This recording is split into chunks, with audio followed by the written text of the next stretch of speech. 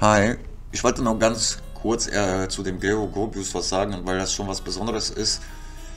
Ähm, ja, weil er war eben ein exzentrischer Bürgermeister und Alchemist.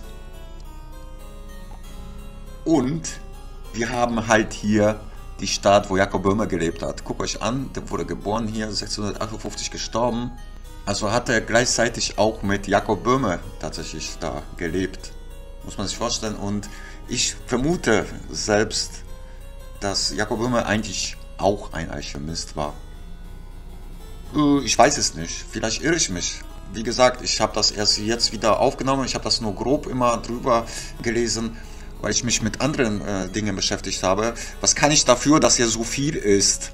Wenn ich das wüsste, wäre ich gar nicht hingezogen. Wie man sieht, war der recht auffällig, weil der immer rote Kleider trug und eine voluminöse Perücke. Also der hatte wohl mehrere, aber die waren immer besonders auffällig. Und natürlich hat er sich mit Goldmacherei und so beschäftigt, weil Alchemisten eigentlich dafür äh, irgendwie da waren, hauptsächlich. Aber die haben ja alles Mögliche gemacht. Man darf nicht vergessen, ja, Chemiker, die modernen, sind sehr verwandt. Zum Teil ist das sehr verwandt. Das hat sich damals ein bisschen abgespaltet.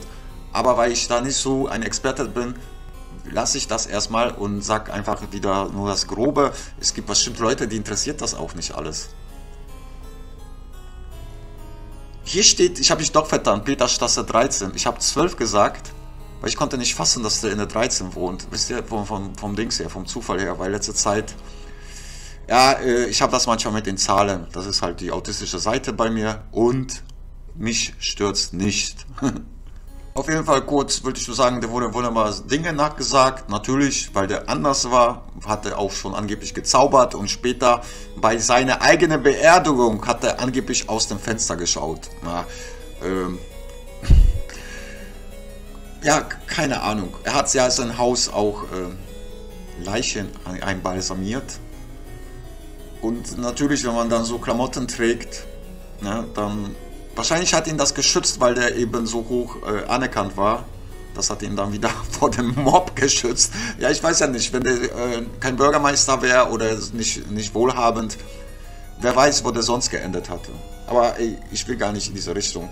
Leider ist die Welt so. Ich habe ja äh, oft, ich muss gerade an Bruno denken. Diesen Giordano Bruno. Guckt euch an, der wurde 1600 in Rom verbrannt. Okay, das war jetzt ein bisschen früher, aber was ist das schon, wenn ihr äh, da guckt? Ne, das sind solchen wenige Jahrzehnte. Also der hat in der Zeit gelebt.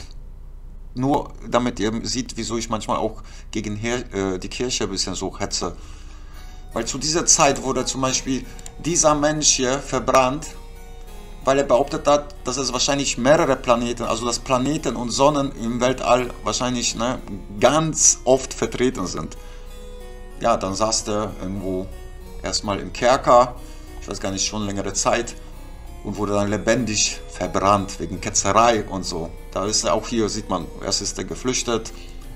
Ihr seht, was das für eine Problematik war und das war die Zeit, wo diese ganzen ja, Dichter, Denker, Komponisten auch existiert haben, früher, später, ja, nicht so genau jetzt, aber das war schon eine sehr interessante Zeit, aber gleichzeitig war die Kirche zu dieser Zeit auch stark vertreten.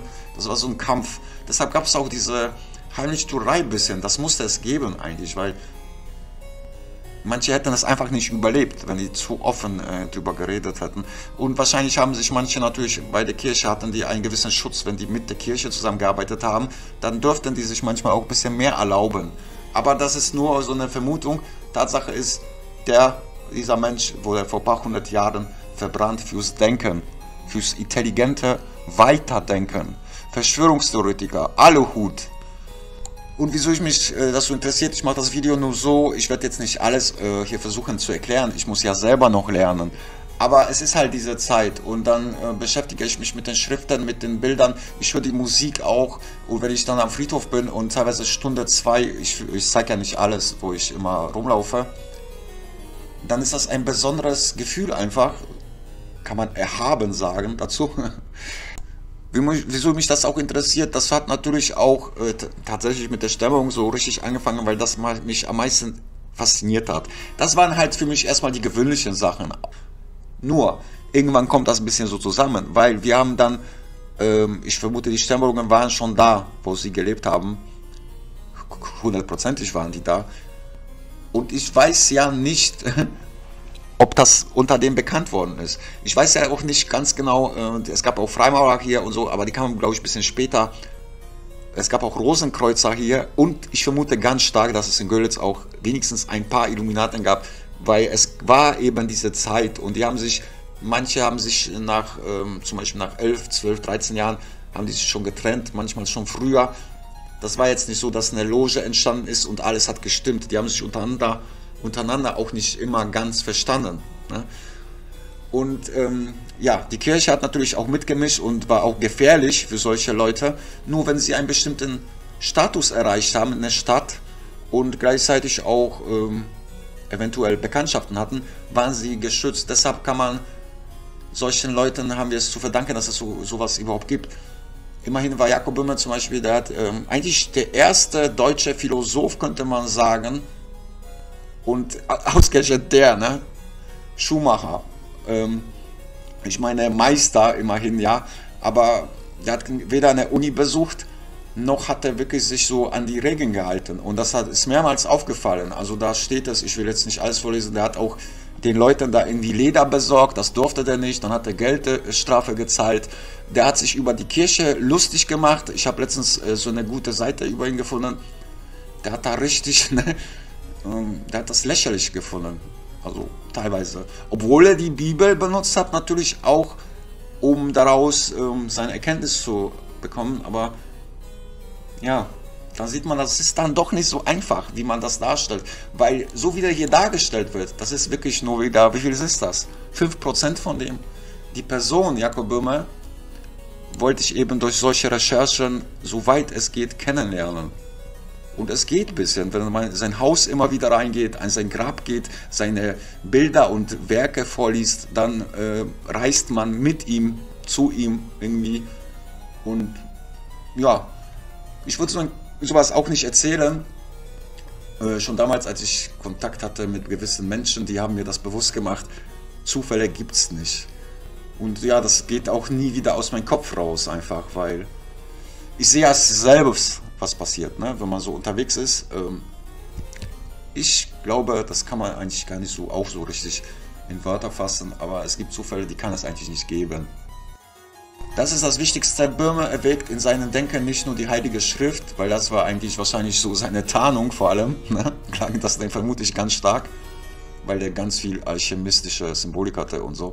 Wie man sieht, hat er behauptet, dass aus der Natur äh, diese ganze Geburt der äh, Philosophie, Astrologie und Theologie, also ja, wie sagt man, dass man das Ding zu verdanken hat, der Natur.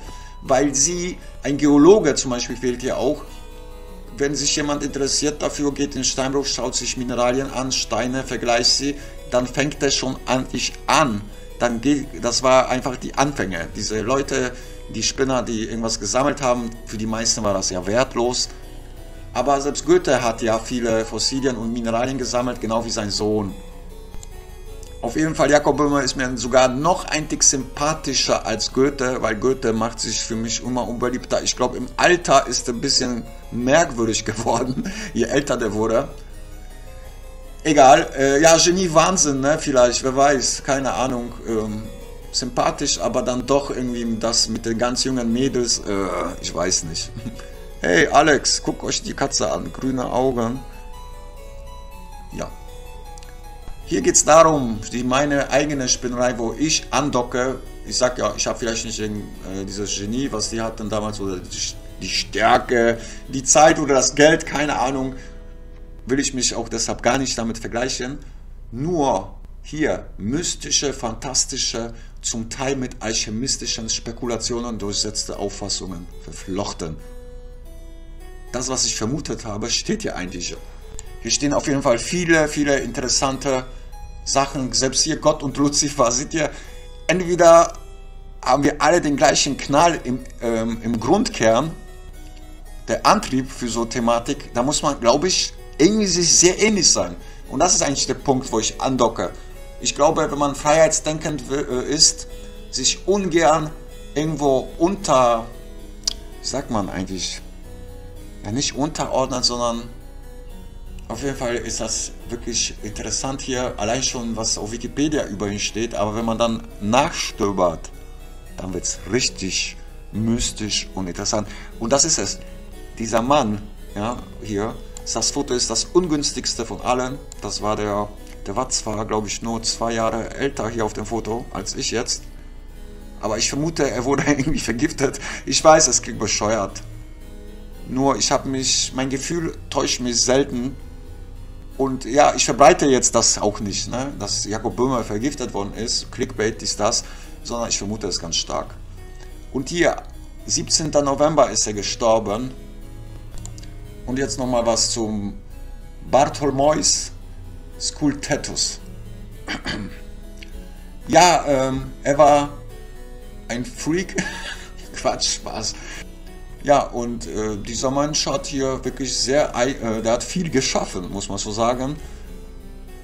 Ja, hier Astronom, Mathematiker und er war einer der bedeutendsten Astronomen seiner Zeit mit Tycho Brahe, kennt ihr den? Und Johannes Kepler. Ich habe früher vor Jahrzehnten mich jahrelang mit für Astronomie interessiert, deshalb kenne ich diese.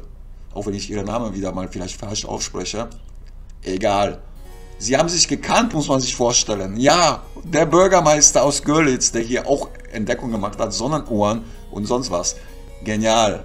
Das sind so Leute wirklich, würde ich mich in der Stadt so einen begegnen, klar verbeuge ich mich gerne vor so einem Mensch, vor Respekt. Ja. Heutigen Bürgermeister habe ich nichts gegen, aber den würde ich höchstens mit der Hand winken, wenn der mich begrüßt. Gut, wollen wir auf dem Teppich bleiben. Ich habe gar keinen Teppich hier, Parkett, aber egal. oh Mann, ich sollte keine Witze machen. Nur, ähm, ja, es beflügelt mich natürlich auch, diese ganzen Persönlichkeiten hier. Und im Endeffekt geht es auch darum, dass die, ähm, sie wollten auch den Geist und die Menschlichkeit auf eine andere Ebene bringen. Also von innen praktisch, so dass das auf natürliche Art und Weise das war kein Hexenwerk und das waren nicht alles äh, Satanisten, Illuminaten und so. Und Illuminaten sind ja auch nicht wirklich böse. Wie ihr seht, hatte auch äh, hier den Kalenderreform, hatte da starken Beitrag beigetragen. ja, auf jeden Fall hatte der wirklich was drauf. Und ja, ich wollte die mal vorstellen, weil das war irgendwie zu kurz in dem Video, was ich davor gezeigt habe. Aber es hat einfach nicht reingepasst. Ich kann das nicht erklären. Ich habe drei Tage für das Video gebraucht und bin trotzdem unzufrieden. Aber so ist es manchmal. Selbst wenn ich schlechten Tag habe, mache ich trotzdem was. Auch wenn es schlecht wird. Das ist so, weil man hat trotzdem was gemacht. Es ist schlechter, ähm, in der Ecke zu sitzen und zu denken, hm, soll ich machen? Das ist sowieso kacke. Ja, dann versuche ich das halt, ja. So, jetzt habe ich das nur nebenbei wieder hier erwähnt. Und ja, das ist Jakob Böhmer, wenn man sich die Bilder anguckt, hier wieder die Drachen und so weiter. Da gibt es so viele Bilder von dem. Ne? Ja, und dann guckt man und denkt so, Mann, das ist irgendwie, geht das teilweise ins Unterbewusstsein und man versteht es teilweise erst nach einer Weile. Ne, das fruchtet dann, wie so ein Samen, manchmal diese Bilder, aber auch die Schriften. Gleichzeitig bin ich ja draußen unterwegs und sehe ja die Wohnungen auch von innen, auch die Gräber und auch die Orte, wo diese ganzen Persönlichkeiten waren. Wie letztens auch Goethes Muse liegt ja auch hier und so weiter und so fort. Ich werde äh, hin und ab und zu werde ich mal ein, zwei noch bekannte Persönlichkeiten zeigen hier aus Görlitz, die vor allem auf dem Friedhof liegen. Und ja, sonst forsche ich weiter. Hier, hallo, Sonne, Stern, Licht, Auge, Sternbohrung. Äh, ja gut, das ja, und man dreht ein bisschen manchmal durch. Wieso aber auch nicht? Ne? Solange ich wirklich auf dem Teppich bleibe. Im Endeffekt forsche ich ja weiter und suche. Ich bin ein Suchender und werde das immer bleiben. Sowas gibt es gar nicht für mich wie Meister. Der Meister, vielleicht treffe ich den, wenn ich tot umfalle. Vielleicht holt er mich ab. Bis dahin sage ich mal, schönen Abend.